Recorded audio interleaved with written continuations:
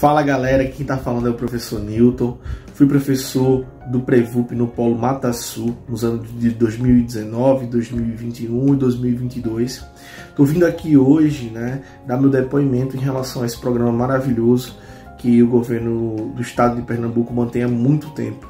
É um programa essencial para a gente pensar a perspectiva educacional de Pernambuco e cumpre um papel importantíssimo dentro dessa realidade, dentro dessas reflexões que a gente pode fazer, porque o Prevup quem atende um público uh, muitas vezes carente né, de um acompanhamento mais aprofundado em relação a pré-vestibulares e tudo mais.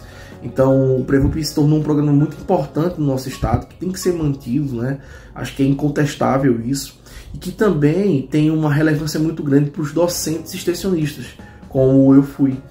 Ah, as experiências que nós pegamos no Prevup, os contatos que nós tivemos com diferentes realidades dentro de sala de aula, as trocas, foram importantíssimas para a nossa formação.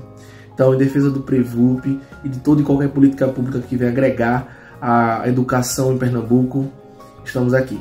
Abração.